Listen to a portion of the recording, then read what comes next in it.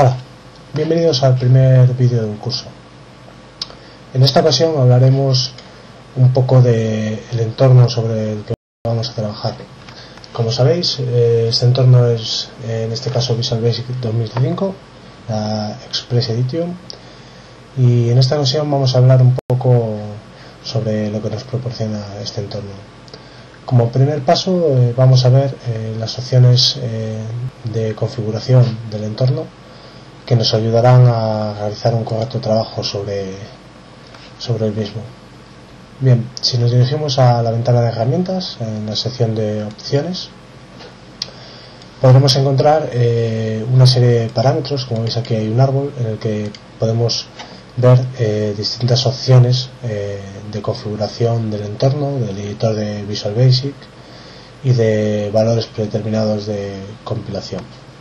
Bien, si nos dirigimos a el hilo de proyectos y soluciones, el valor valores predeterminados de Visual Basic, vemos eh, una serie de configuraciones eh, predeterminadas para los proyectos que queremos en Visual Basic.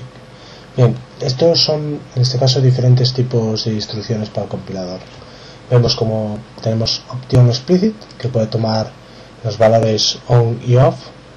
En este caso tenemos en on y lo que hace es forzar a que todas las variables eh, sean declaradas. Si lo tenemos en off, en este caso las variables eh, las podríamos utilizar sin necesidad de que estas fueran declaradas previamente. Bien, eh, mi recomendación y en general las recomendaciones, además encarecidas, es que este valor siempre esté activado en la opción de on. El siguiente parámetro es el de Option Street. Option también es recomendable, muy recomendable que esté activado, en este caso en non, y lo que conseguimos es forzar a que se deba explicitar la conversión eh, mediante las funciones adecuadas. Es decir, eh, si tenemos esta opción activada eh, y declaramos una variable de tipo entero, un integer, si esa variable la asignamos a un valor, por ejemplo, racional, pues entonces que el compilador nos lance un mensaje de error y nos diga que esa conversión no es válida y que debemos hacerla eh, mediante las funciones para realizar conversiones que tenemos en Visual Basic. La tercera acción ya es una acción de elegir el método que se va a utilizar para comparar. En este caso puede ser binario o puede ser de tipo text.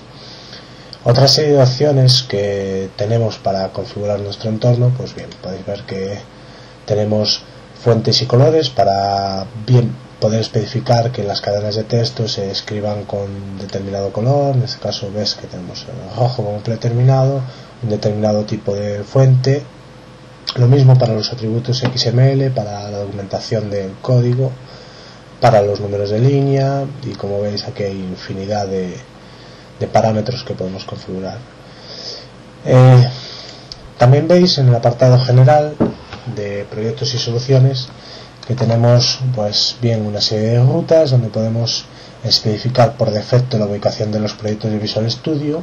Es decir cuando nosotros creamos un proyecto nuevo de Visual Studio pues bien eh, decidir la ruta en la que queramos que se nos cree. Por defecto como veis está creando en mis documentos eh, Visual Studio 2005 Projects bien lo mismo tenemos para las plantillas y para las plantillas de elemento de usuario de Visual Studio una serie de opciones que también es recomendable eh, tener es, por ejemplo, guardar nuevos proyectos al crearlos. ¿Qué quiere decir esto? Bueno, por defecto cuando creamos un nuevo proyecto en la versión Express de Visual Studio, pues bien, este proyecto por defecto no se guarda, simplemente cuando nosotros eh, cerramos, en este caso la aplicación, o bien nosotros hacemos una acción sobre el icono de guardar, pues entonces eh, nos pregunta si queremos guardarlo y dónde. Con esta opción pues al crear un nuevo proyecto en Visual Studio 2005, Visual Basic 2005, la versión Express Edition, pues eh, él automáticamente ya guardará la ruta que tenemos asignada por defecto para los proyectos de la versión. Bien, mostrar solución siempre. Bien. Eh, eh, un trabajo hacia una empresa o un particular no siempre requerirá solamente de un proyecto, es decir, tú puedes crear una solución que es una agrupación de proyectos y un proyecto puede ser una aplicación de Windows Forms que necesita también la creación de una nueva librería Entonces todos estos proyectos forman parte de una solución con la finalidad de tener agrupados, de una mejor organización del trabajo que realizamos. Bien, otro apartado también importante es el tema de, del autoguardado, digamos, la autorrecuperación de, de, los proyectos que hagamos. Si veis, eh, marcamos la casilla de mostrar todas las configuraciones y nos vamos a la parte de entorno autorrecuperación y veis que nos eh, tenemos marcada un box donde nos dice guardar, guardar información de autorrecuperación cada X minutos. En este caso vamos a poner 2 y guardar información de recuperación durante 7 días. Vamos a poner 5, por ejemplo. ¿Qué queremos o qué conseguimos con esto? Pues bien, con esto conseguimos que si por ejemplo estamos eh, desarrollando una aplicación de Windows Forms y por cualquier mala casualidad pues se va la luz y el ordenador se detiene en ese momento, pues bien, pues eh, con esto tenemos garantizado que como mucho perdemos el trabajo de los dos minutos anteriores. Cada dos minutos se va haciendo un guardado de, lo que tenemos y si ocurre cualquier desgracia no deseable, pues como mucho, como digo, eh, pues solo habremos perdido dos minutos.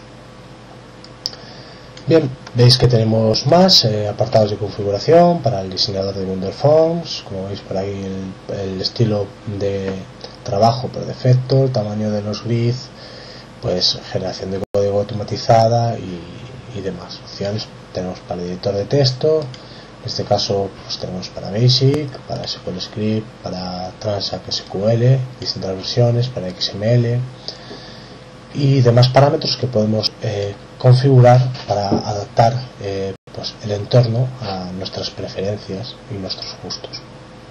En los siguientes vídeos, pues en el siguiente vídeo en particular hablaremos un poco más del entorno y después empezaremos un poco a hablar acerca del lenguaje Visual Basic.